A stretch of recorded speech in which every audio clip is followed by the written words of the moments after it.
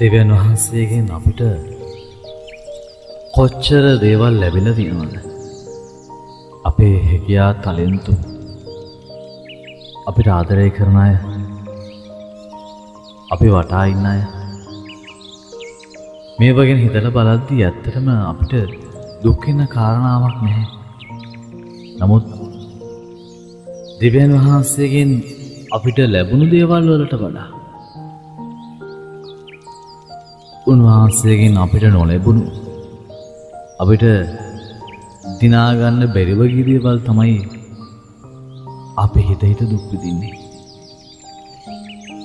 අදස්දෝ සුවිශේෂය තුළ ස්වාමින් වහන්සේ මතක් කරනවා. ඔබට මට උන්වහන්සේ විවිධාකාරයේ තලින්තු හැකියාවන් වරප්‍රසාදයෙන් හිතවත්කම් මෙ හැම දෙයක්ම දෙන තරමටම උන්වහන්සේ ඔබෙන් මගින් යම් කිසි සේවාවක් බලාපොරොත්තුය. එනිසා අපට ලැබුණු දේවල් මුලින් අපි අගේ කරන්න පුරුදුම.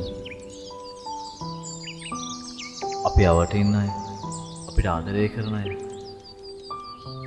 අපිට සහයෝගයක් දක්වන අය මේ හැම කෙනෙක්කම අපි අගේ කරන්න ඔවුන්න දුන්නු දිවෙන් වහන්සේට ප්‍රශංසා කරන්නටත් අපි පුරුදුවමු එතකොට අපට තවත් ලේසි අපි ගාව තියෙන හැකියා දක්ෂතාවයන් ඒ වගේම හේතින හැම හිතවත්කමක් තුළම තවතවත් අපේ ජීවිතයේ වර්ධනය කරගන්නටත් ඒ හරහා දෙවන් වහන්සේට සේවාවක් කරන්නට ඔබට ජෙස්පීටයි